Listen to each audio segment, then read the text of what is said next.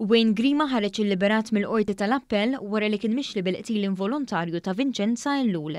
L-anzjana kienet ġarbet ġrieħi f'rasha u mietet 18-il ġurnata wara li ntlaqtet minn van li kien qed isuq Grima waqt li kienet qed taqsam it-triq. Fl-2016 huwa kien instab ħati mill-Qorti tal-Maġistrati u kien ingħata sentenza ta' tmintax-il xahar ħabs sospiżi għal erba' snin, filwaqt li kellu l-liċenzja tal-karozza sospiża għal sena. L-Imħallef Giovanni Grixti nnota li l-vittma qasmet Triq Ħaż-Żabbar li tinsab f'Raħal Ġdid minn fejn ma kienx hemm zebra crossing jew xi tabella li turi limitu tal-veloċità. Minkejja dan, espert tal-Qorti qal li l-brejkijiet ma kinux qed jaħdmu kif suppost, xi ħaġa li kienet miċħuda mill-akkużat.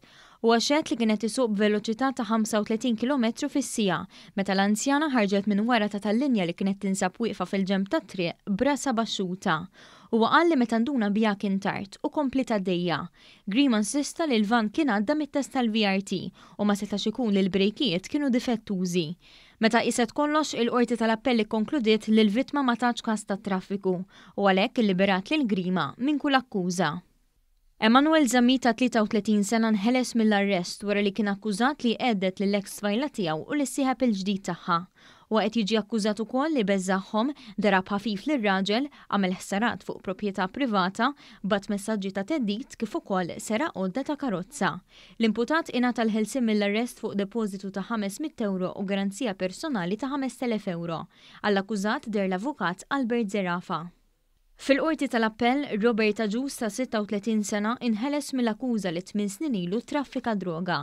Fl-2012, Agius kien wieġeb mhux ħati li kien qed jittraffika druga eroina, li kellu fil-pussess tiegħu droga kokaina, arma bla liċenzja u li kien riċediv. Kollox beda malli mara li waslet Malta mill-Kajr ġiet arrestata wara li nqabdet bil-pussess ta' droga eroina. Hija qalet li kienet ftemet mal-akkużat li ddaħħal id-droga f'Malta bi ħlas bil-quddiem ta' ħames mitt ewro u elf ewro oħra wara li tasal bid-droga. Il-Qorti tal-Appell innutat li l-mara qatt ma tat ix-xhieda tagħha. Il-Qorti osservat li s-sustanza li nstabet fuq l-akkużat qatt ma ġiet analizzata b'mod xjentifiku, dan biex jaraw jekk kinitx droga illegali. Fid-dar tal-akkużat instabet biss balla u għalhekk kien ordnat iħallas multa ta' 500 ewro. Hamrounis ta' 53 sena ġie kkundannat ħmistax-il xahar ħabs wara li ammetta li erba' xhur ilu daħal f'dar minn fuq bejt biex jisraq. Alexander Cardona ammetta wkoll li għamel ħsarat f'din id-dar u sar riċediv.